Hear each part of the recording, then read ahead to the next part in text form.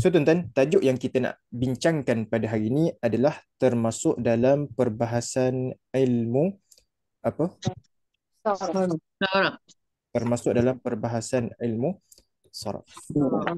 So saraf itu tuan-tuan seperti mana yang kita dah bincangkan minggu lepas, saraf ini yang dimaksudkan ilmu saraf ini adalah ilmu yang menceritakan, ilmu yang membahaskan tentang apa tuan-tuan? Tentang Membantu Penggunaan kalimah. dan ah okey. Oh, ingat lagi tu tuan-tuan. Okey, banyak orang kaji ni. Hmm. Okey. catatan. Ya ya. Buat catatan. Catatan. Oh. Bagus Puan Fatin. Okey. Okey. So saraf ini menceritakan tentang apa tuan-tuan? Tentang uh, Pembentukan dan perubahan kalimah. dan Perubahan kalimah. perubahan Kalimah. kalimah. Okey. Okey. Tuan-tuan. Saraf adalah menceritakan tentang pembentukan dan perubahan kalimah dalam bahasa Arab. Okey. So secara asasnya tuan-tuan, uh, kalau kita tengoklah dalam bahasa-bahasa lain pun uh, setiap perkataan ni dia ada dia punya root word dia, betul tak? Kata dasar dia, betul tak? Ya. Uh, kan kata dasar dia. Uh, Okey. Kalau contoh kalau kita kata belajar. Uh, kadang-kadang dia jadi pembelajaran, kadang-kadang dia jadi sedang belajar, betul tak? So itu adalah perubahan perkataan, perubahan kalimah tu. Betul tak? Okey. Sebagai contoh lah tuan-tuan, saya ambil contoh yang paling simple lah. Hmm, okey, kita ambil dulu yang bahasa Inggeris dulu lah tuan-tuan. Nak bagi tuan-tuan nampak tu. Okey. Okey, kalau belajar bahasa eh, kita ambil contoh bahasa Inggeris dulu. Okey, kalau bahasa Inggeris tuan-tuan, kalau belajar bahasa Inggeris apa? Student. Ya? Student. Student betul ni? Ke study? Tadi. Ni belajar. Belajar. Oh, Hmm. belajar. Belajar. Tadi. Ah, okey. Stud, uh, belajar study betul tak? Belajar study. Belajar study. Kalau pelajar kita sebut apa? Student. Apa? Student. Student. Okey. Kalau pembelajaran, Education. ya ya. Betul. Ha. Okey. Apa lagi tuan-tuan? Studying ada tak? Tak ada kan? Ada. Ha. Study, student apa lagi nak pecahkan lagi? Okay. Kalau, ya ya. Kalau sedang belajar, sedang study. Tadi. Studying kan? Ada Tadi. ada belakang tu tak? Hmm. Uh, okay. So tuan-tuan, ini sebagai contoh lah nak bagi tuan-tuan nampak. Dia punya perkataan asal tu masih lagi ada. Uh, okay. Tentang Punya perkataan Belajar. asal masih lagi ada. Dan tuan-tuan, dia berubah. Dia ber, berubah. berubah. Okay, persoalan. Kenapa dia berubah tuan-tuan? Nak membentuk makna yang baru. Betul tak? Dia berubah kenapa? Nak membentuk satu makna yang Baru dalam ayat. dalam ayat tu. Kalau study belajar, student pelajar. Uh, kalau studying uh, tu is atau uh, kat depan ni ada tu lah. Uh, sedang belajar. Dan belajar. Sebagai contoh. Okey. So tuan-tuan, setiap perubahan yang berlaku itu untuk nak membentuk apa tuan-tuan? Nak membentuk satu makna yang Baru. satu makna yang baru. Okey, boleh nampak? Uh, Okey. Mhm. So itu adalah uh, kalau dalam bahasa Arabnya tuan-tuan, perubahan perka- perkataan tu lah. Okey. Kalau contoh yang bahasa Arab pula macam mana tuan-tuan? Okey, contohlah tuan-tuan eh, contohlah. Kita ambil satu perkataan nak bagi tuan-tuan nampak dulu. Hmm, okey. Perkataan ni memang tuan-tuan banyak guna dalam dalam dalam dalam dalam apa itu tuan dalam doa pun banyak dalam Quran pun banyak okey contohlah tuan-tuan kita ambil perkataan ini nampak tak Ghafara. apa Ghafara. Ghafara. ghafara Namp- siapa tahu makna ghafara Menampun. Ampunkan. ya ya Mengampun. mengampunkan betul tak ghafara maksud dia apa Me- Mengampunkan. mengampunkan. Betul tak? Hmm. Nampak tak warna oranye tu? Macam tak clear sangat dah tuan-tuan. Tak clear sangat. Macam warna apa? Warna pink lah tu. Hmm. Ah, ini clear tak?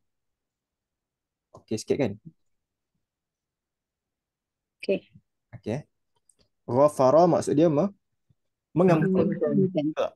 Okey, ghafara maksud dia mengampunkan. Okey. Okey.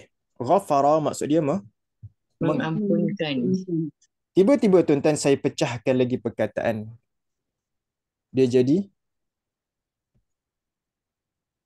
Akfara. Ighfir. Eh, Ah, dia eh, Ighfaro. Ighfir. ighfir. Yang ni tuan-tuan baca bila ni tuan-tuan ighfir ni. Tuan-tuan baca bila? Allahumma ghafirli. Ada kan? Hmm. Ah, bila tu tuan-tuan baca tu? Ah, Ya. Macam mana lah. apa tu? Dalam ah, banyak kan? Hmm. Ah, Allahumma ghafir li. Allahumma ghafir lana. Betul tak? Okey, so itu ighfir. Betul. Apa maksud ighfir? Ampunkanlah. Ampunkanlah. Ampunkanlah. Ighfir maksud dia apa? Ampunkanlah. Ampunkanlah. Ampunkanlah. So ini minta tuan-tuan. Betul? tak? Ini adalah minta. Permohonan. Ighfir. Ya Allah, ampunkanlah aku. Ighfir. So tuan-tuan nampak tak tuan-tuan? Dia berubah daripada ghafara pergi kepada ighfir. Ighfir. Makna berubah tak tuan-tuan? Ubah. Berubah. Ghafara mengampunkan. Telah mengampunkan. Ighfir maksud dia ampunkan. Ampunkanlah. Tu jadi apa tu? Minta. Mohon. permohonan. Tak? Nampak tak? Ha, okay. So itu adalah ir ighfir. Ha, okay. Ighfir maksud dia apa? Ampunkanlah. Ampunkanlah. Okey. Kalau kita pecahkan lagi tuan-tuan. Contoh. Ah, mesti tuan-tuan pernah jumpa perkataan ni. Hmm, Okey. siapa tahu? Maghfirah. Ah, apa maksud maghfirah? Maghfirah. Hmm, apa maksud maghfirah? Keampunan. Nampak tak? Maghfirah maksud dia apa? Ampunan. Keampunan. Beza tak makna tuan-tuan satu demi satu? Kan? Biasa. Tadi ghafara, kemudian jadi. Ighfir. kemudian jadi Maghfirah. So beza tuan-tuan kan. Satu demi satu beza tuan-tuan. Ghafara mengampunkan. Ighfir ampun. Ampunkanlah. Maghfirah maksudnya Keampunan. keampunan. Okay. So dia berubah tuan-tuan kan. Dia berubah. Dan perkataan asal dia tu, dasar dia tu masih lagi sama. Hmm. Ghafara lagi. Ada lagi ghafara dalam tu. Betul tak? Betul tak tuan-tuan? Kan? Dia ampun kata dasar dia. Ah, ampun kata. Okey. Okey, satu lagi tuan-tuan. Ah, bukan satu lah tuan-tuan, banyak. Okey. Okey, ghafara. Ighfir. Lagi ah Maghfirah. maghfirah. Okey. Apa lagi tuan-tuan? Contoh lagi perkataan ah ghafur. Perkataan Ghafur. Ghafur. Tuan-tuan jumpa ghafur ni kat mana? Ghafurur Rahim. Ah, ghafurur rahim. Tuan-tuan jumpa kat mana ghafur ni? Hmm. Dalam doa juga, betul tak? Betul tak? Dalam doa juga kan? Ghafur Ya. tuan-tuan jumpa dalam dalam doa Doa. juga. Apa maksud ghafur? Maafkan. Maafkan, betul ke? Ghafur. Ghafur. Maha pemaaf. Maha Pemaaf. Betul tak? Yang maha mengampunkan, betul tak? Itu ghafur kan? Maafkanlah. Ghafur pun ya. Satu lagi tuan-tuan jumpa juga perkataan ini. Hmm, nak sebut macam mana tu? Ghafar. Ah, ghafar. Betul tak? Ada tak nama kawan tuan-tuan? Nama ghafar. Ada. Kan? Lagi. Uh, Abdul Ghafur. Abdul Ghafur ada kan? Uh, okay. Ghafur dengan Ghafur. Okay, Ghafur satu, satu lagi Ghafar. Okay. Perkataan asal tu masih lagi ada tu tuan-tuan. Cuma dia berubah. Dia ber, berubah. Nampak? Hmm. So apa maksud Ghafur dengan Ghafar? Ghafur dengan Ghafar maksud dia apa? Um, Dapur. Ghaffar maaf. eh. Uh, Maaf, maafkan. maksud dia maha pengampun. Dua-dua ni maksud dia maha Maha Pengampun. maha pengampun. Maksud merujuk kepada orang tu. Boleh. Ghafur dengan Ghaffar, kedua-duanya membawa makna apa? Maha Pengampun. maha pengampun. Boleh. Ya. Kan? So asal Ghafara kemudian jadi Ghafur. uh, uh, tapi dia tu Ighfir. Dia Ighfir. jadi apa pula? Maghfirah. Kemudian jadi apa pula? Jadi Ghafur. Kemudian jadi apa pula? Ghafar. So berapa banyak dia berubah dah tu tuan-tuan kan? Kan? Inilah kalau orang yang, yang faham ilmu saraf, makanya tuan-tuan walaupun dia nampak satu perkataan tetapi Dia berubah. dia, dia boleh berubah banyak. Maksudnya apa? Kalau contoh dia jumpa satu perkataan yang lain pun dia boleh agak dia punya makna da- daripada bentuk. Ah, So itulah ilmu saraf. Ilmu yang membahaskan tentang uh, perubahan Bentukan. bentuk kalimah. Okey, kenapa dia berubah tu tuan-tuan? Untuk membentuk satu makna yang Berbeza. Baru uh, so itu adalah ilmu saraf. Okey. Uh, clear tuan-tuan jelas. Uh, Ya. kan? Kalau contoh tuan-tuan biasa kan jumpa kan dalam kalau dalam uh, dalam doa tuan-tuan jumpa apa? Ghaffar. Ada tak? Ada. Ghafur ada tak? ada. Kan? Uh, contoh tuan-tuan baca astaghfir astaghfirullahal ghafurur rahim. Ada juga. Ada. Ada kan? Uh, Ghafur. Maha pengampun. Okey. Okey, so tuan-tuan, secara tak langsungnya tuan-tuan, okey. Asalnya daripada perkataan ghafara itu dia punya kata dasar dia. Bila mana dia berubah jadi ilfir, dia membawa makna minta, membawa makna apa? Minta. Ampunkanlah. Doa. Kemudian dia jadi maghfirah. Maghfirah maksud dia keampunan. Maksud dia apa ke? Keampunan. Membawa Dia makna beri ampun. Ah, betul. Manakala Ghafur Maha Pengampun. Pengampun. Ghaffar pula tuan-tuan pun sama juga Maha apa? Ampun. Nampak? Ah, So itu adalah salah satu bentuk perubahan yang ber, berlaku pada perkataan ah, Ghafara tu tuan-tuan eh. Nampak eh? Mhm. Okey. Sebagai contoh lagi tuan-tuan kan. Kalau contoh tuan-tuan nak pecahkan lagi perkataan. Contoh. Hmm.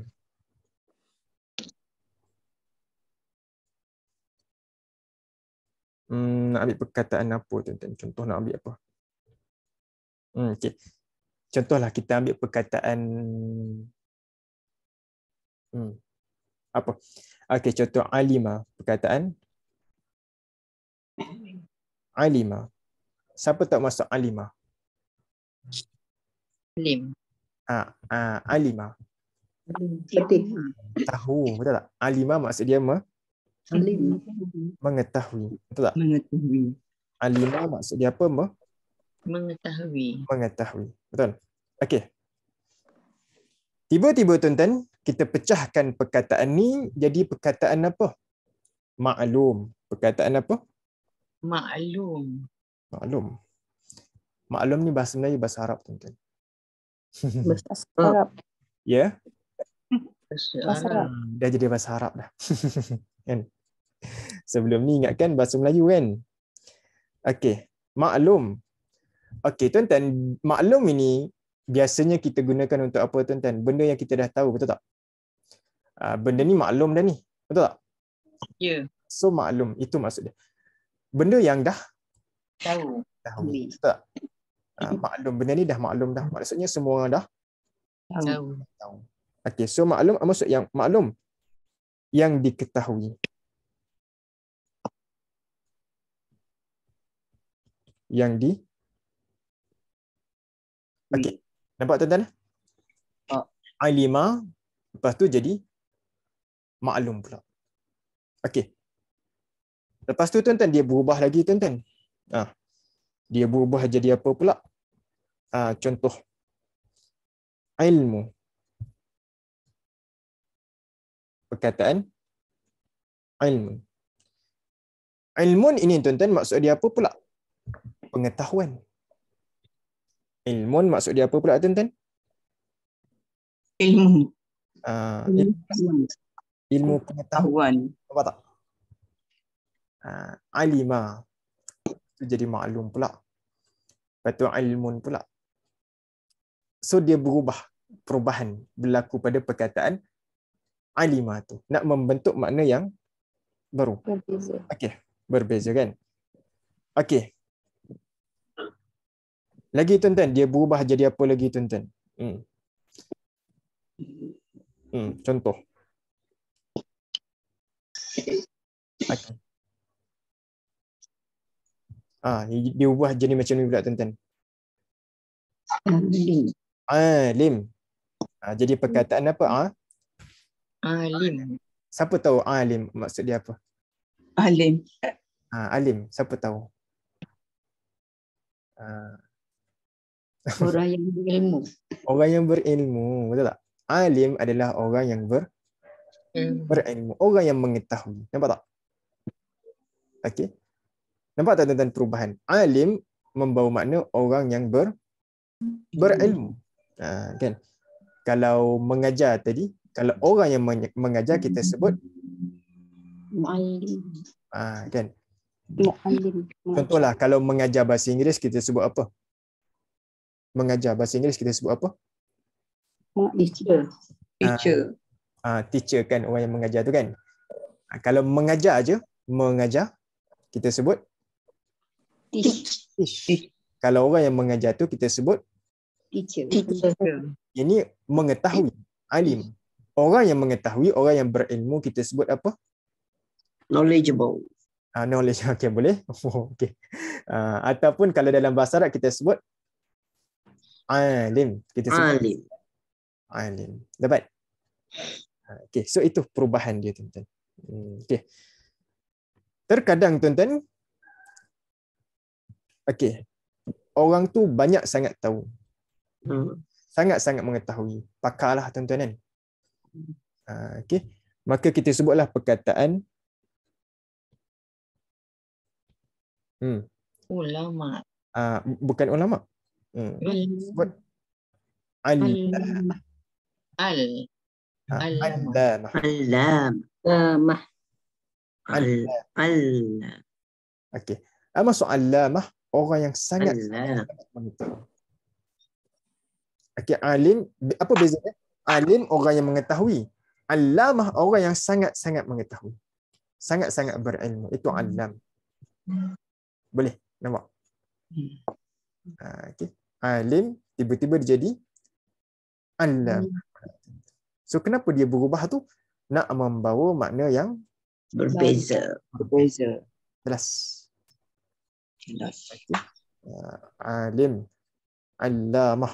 Hmm, okey. Dan perkataan allamah ni tuan-tuan biasanya kalau tuan-tuan jumpa kalau tengok dalam kitab tu biasanya kalau kitab-kitab kuning kitab-kitab lama kan biasanya kat depan tu dia akan tulis al-alim al-allamah. Uh, Al-alim al al-allamah. Biasanya kitab-kitab lama lah kat depan tu dia akan tulis al-alim al-allamah. Uh, Sangat-sangat berilmu. Uh, Bukan tahu sikit lah tuan-tuan kan. Maksudnya kalau dia tahu tu ilmu dia tu ibarat macam apa?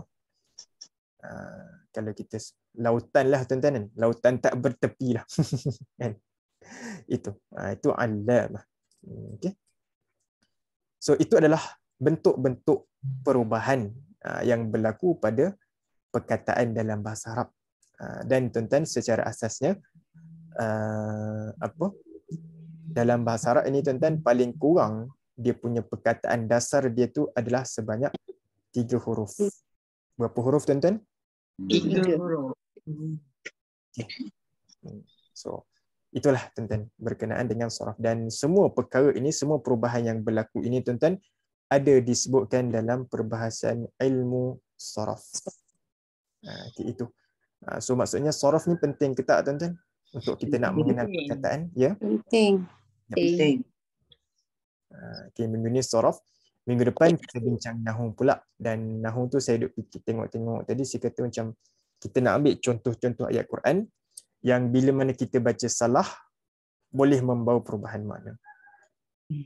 Ha, yang tu insya-Allah kita masuk minggu dan insya-Allah. Ha, okay. Okeylah tuan-tuan, setakat daripada itu. Hmm, hari ni semua jelas, semua nampak tak tuan-tuan? Nampak. Nampak eh? Alhamdulillah. Alhamdulillah. Dah nampak nampak banyak sikit dah. minggu depan kabur-kabur lagi kan?